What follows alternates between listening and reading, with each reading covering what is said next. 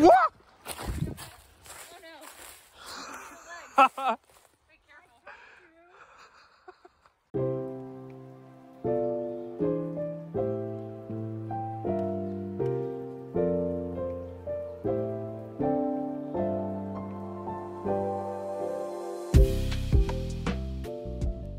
Hey there, welcome back to another indie game devlog. This one's going to be a little bit different. It's not about Polar or my mystery project that I've teased a few times. Instead, it's going to be about a whole new project that I'm starting from scratch today and aim to complete over my holiday break of about two weeks. It's going to be a little mobile game about this guy, the Arctic Fox. The gameplay is going to mimic their method of hunting, which is jumping up into the air and dive bombing into the snow to catch critters for dinner. And that's about all I know right now.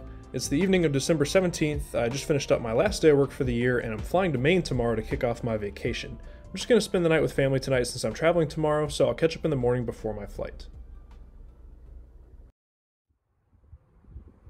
Welcome back to the morning of December 18th.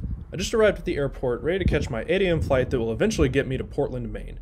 I'd love to get a start on development today, but that seems unlikely to happen on my tiny plane since I'm like 6 foot 3 and have a 15 inch laptop.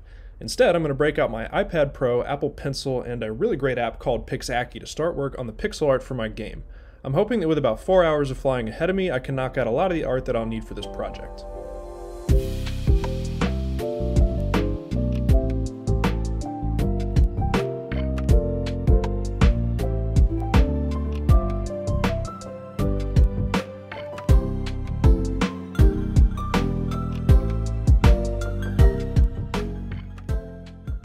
Well, after a lot of time sitting on planes today, I'm happy to report that I've made it to Maine.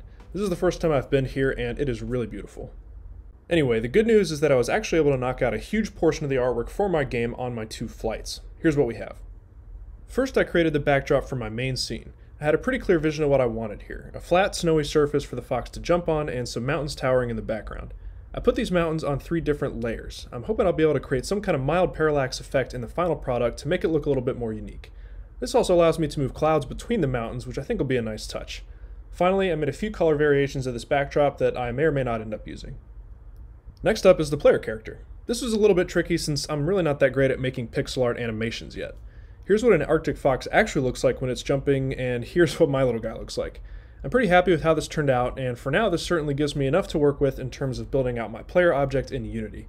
I also created a few color variants of this guy, but I'll talk more about why I did that later in the video. Finally, I created some artwork for various pickups that the Fox will be able to grab. Two will just add to your score, and one will increase your jumping speed, enabling you to pounce more quickly. So, overall, really great progress on the plane today.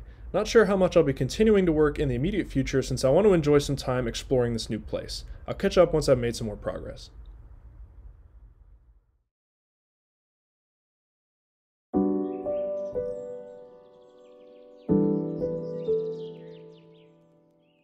Well, we're going to go ahead and fast forward to December 24th, Christmas Eve, back in my home state. I spent a really wonderful four days in Maine drinking coffee by the fire, looking up at the Milky Way, and exploring a very cold, wintry wonderland. Though I didn't really have an opportunity to record for this devlog, I did make quite a bit of progress on the game, which I'm now calling Snow Pounce. I'll go ahead and walk you through what I've done so far. Here's where we sit about six days into the project. The first thing I did was export my art from Pixaki and import it into Unity. This was actually pretty easy since I'm developing this game on my MacBook. All I had to do was export the PNGs from Pixaki directly into my Unity project directory which is in iCloud Drive. From there I could both use the art in the project and check it into my Git repo. With that done I laid out my initial scene, creating game objects for the mountains, clouds, and player. I created objects with different Z values for the different mountain layers so that I can create that parallax effect later. This will also allow the clouds to float between the mountains like I mentioned earlier. With the scene laid out, my first development task was to create the basic player controls that will define gameplay. In Snow Pounce, your objective will be to get the fox to pounce on little critters in the ground. To do this, you'll tap anywhere on the screen and drag down to see a preview of the fox's trajectory. When you release your finger, the fox will jump and follow that path. I want to start off by showing you how I'm drawing this trajectory. I knew that the line renderer was the Unity component I want to use for this. All you need to do is give it an array of xy coordinates and a line between those points will be drawn for you. So I had to calculate the various points along my trajectory. Off to Wikipedia I went. I found myself on the projectile motion page, which has a handy list of the formulas I needed to find my coordinates. These are the two that matter most, the x and y displacement at a given time t. If I start at t equals 0 and define a constant time interval between calculations, I can calculate the x and y coordinates at each step in time with this formula. You'll notice that there are a few more things missing that I need to calculate the displacement. I need the initial velocity, or v0, initial angle at launch, or theta, and a constant for gravity, which is represented by g here. To show you how I obtain these values, I'll head over to the code in Unity. My function called calculate jump points is where all this logic lives. I'll start out with the launch angle here at the top. The angle of the fox's jump will be determined by the difference in where the player tapped on the screen and where they have dragged their finger after tapping on the screen. You can get a vector 3 representation of that displacement simply by taking the difference between those two points as I've done here on the first line. I then use vector3.angle to calculate the angle of that vector against vector 3.right, a straight line across the x-axis at y equals 0. Once I convert that angle to radians, I have my value for theta. Next up, the launch force. I want the power of the jump to reflect how far the player has dragged their finger from the touchdown point. I can easily factor this into the jump force by grabbing the magnitude of my target direction vector. For the constant for gravity, I can use the Unity Physics Engine's predefined value, physics2d.gravity.y. The last thing to do is figure out how many points I need to calculate to draw the complete trajectory. This nifty little formula is right below the one for displacement. It allows us to calculate the total flight time.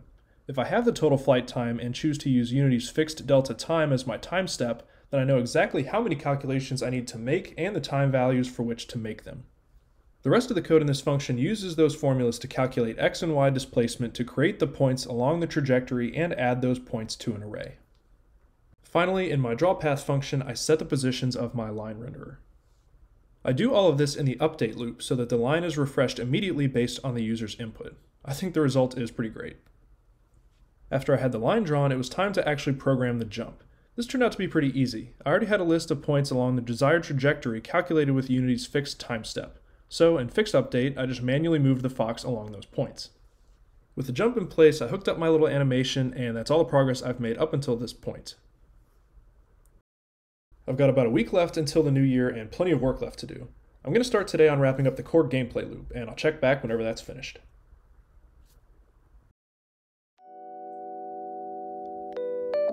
Alright, it's December 26th, the day after Christmas, and I want to show you a little bit of progress that I've made from a few short bursts of productivity in the past couple days.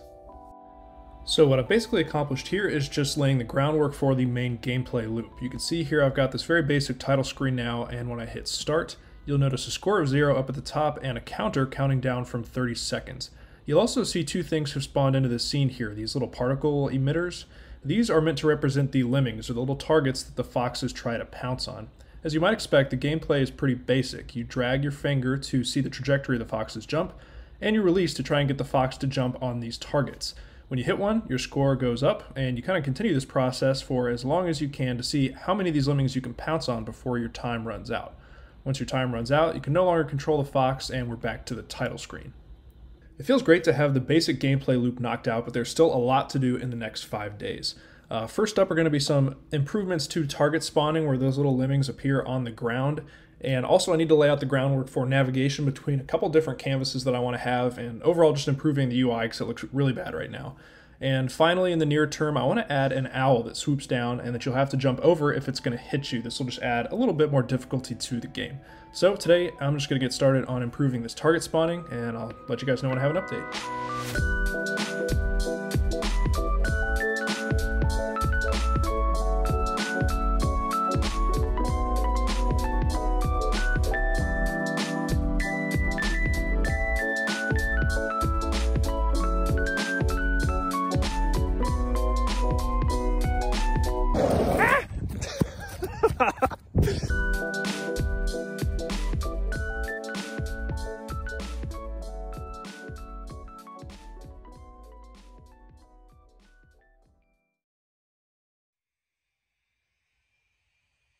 December 27th. Another day has passed, and I actually made quite a bit of progress yesterday. To start, I made some pretty big changes to how the lemming targets are spawned into the scene. My Game Manager class now has control of how many targets there are in the scene at any given point in time, and I've given each individual target the ability to appear for a certain amount of time at one location, then move to another. This kind of creates a whack-a-mole effect, where you can miss at the last second if you've taken too long to pounce on a certain target. I also had to address the issue of what happened if the player jumped outside the screen. I decided just to programmatically create an edge collider around the bounds of the camera. If the fox hits the collider, I reverse his trajectory along the x-axis to give him a bounce effect. Overall, I think the gameplay is progressing along pretty nicely. Next up, I'll be working on creating an enemy for the game and implementing some sound effects.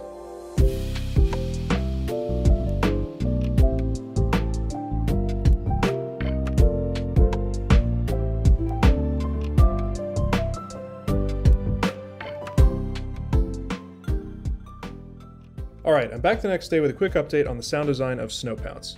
I reached out to Danny to learn about the tool he uses to create simple sound effects for his games. He recommended a program called SFXR. I went with a slightly updated version for Mac called BFXR.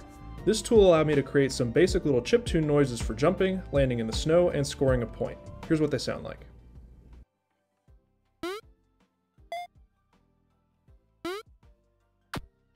Yesterday, I also made some small improvements to gameplay, namely creating targets with different point values. Rather than all the targets being white, we now have blue and orange, which appear less often, are smaller, and reward you with more points if you can pounce on them before they disappear. You'll also notice that I started work on some UI improvements by importing a new font. UI work is far from my favorite, but unfortunately it's what I'll be focusing on next since it's absolutely necessary for a finished product. As always, I'll check in once I get that knocked out.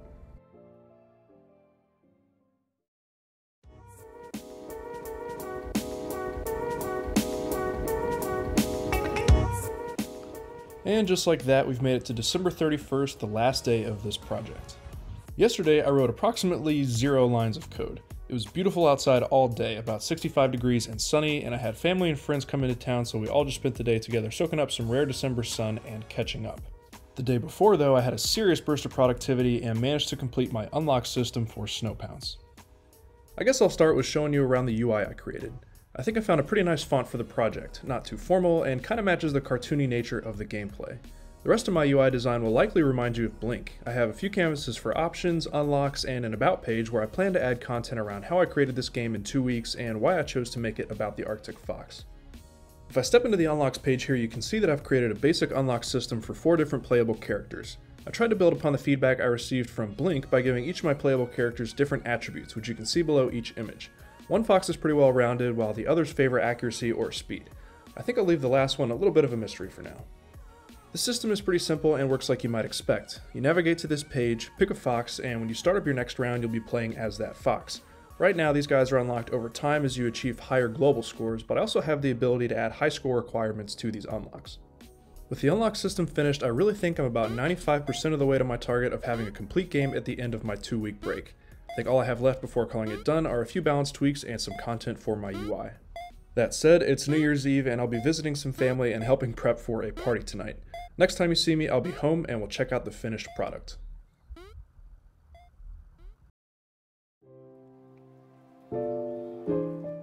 It is now December 8th and time for the final update on Snowpounce. I'm back home and pleased to report that development on Snowpounce is complete and the app has been approved for release both by Apple and Google. In an effort to stay true to my challenge, I did in fact finish up my final small UI changes on New Year's Eve and left the game's balance exactly as it was. Since making it back home after the new year, all I've really done is take screenshots, create the game's icon, set up store pages, and send off builds for approval. This two week challenge was a lot of work, but I'm really happy with one, how the game turned out, and two, how I was able to balance working on the game with spending time with family and friends and going outside and goofing off and relaxing basically all the other stuff that I normally do on vacation. But with all that said, let's jump into the final product and I'll walk you through what I was able to build. First I'll mention the artwork. This was the first part of the game that I tackled and I honestly haven't touched it since I created it on the plane two weeks ago. There are some imperfections in the clouds and mountains, but overall I think it looks pretty good and I honestly just didn't have time to improve it before the end of my two weeks. You'll also notice I didn't have time to create the parallax effect I initially envisioned for the mountains, or implement my backgrounds with alternate color schemes. I also did not get the chance to implement the little pickups that I drew. That'll make for a good future update, I think. After I had my artwork created, my focus for the next 10 days or so was entirely on gameplay. I started with the jumping mechanic for the Fox. I pretty much got this working in one day after tracking down some formulas on Wikipedia and using those to draw out the Fox's flight path and ultimately move his rigid body component to complete the jump. Next up came the targets for the Fox to jump on. My target consists of a particle system and a box collider 2D. I created a script for my target object to control how it moves around the scene and how it determines a new point value or rarity each time it moves. With the player and the target set up, I just had to capture collisions between the two and track the score. I also made some tweaks here and there to smooth out the gameplay experience, but this is really the entirety of the core gameplay loop.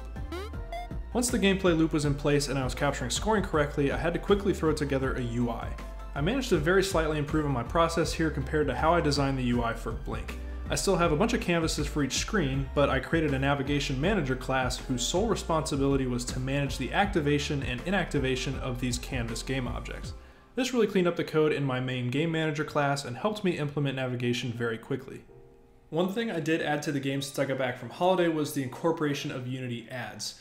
This kind of didn't sit right with me for a while. I worried about showing ads to users in a game with such little content, and I still kind of do. But at the same time, I spent a lot of my hours of my break working on this game, and I am kind of trying to create a side income stream from this hobby since I put so many hours into it.